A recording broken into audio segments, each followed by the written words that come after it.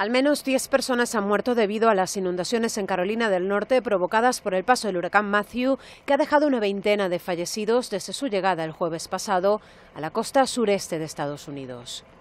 Hay al menos otros cinco desaparecidos y 1.500 personas están varadas a causa de las inundaciones. Una de las víctimas fue arrastrada con su vehículo por las aguas del condado de Johnson y centenares esperan ser rescatadas en el condado de Lumberton, algunas de ellas en los tejados de sus casas. La prioridad de las autoridades es evacuar a estas personas y asegurarse de que los residentes tomen las precauciones necesarias al circular en zonas anegadas, porque aún hay varias vías y autopistas cerradas debido a las inundaciones provocadas por Matthew, y se prevén que los ríos se desborden por la manejada ciclónica ocasionada por el huracán, lo que causaría más cortes de energía que mantienen a por lo menos 500.000 clientes sin servicio eléctrico.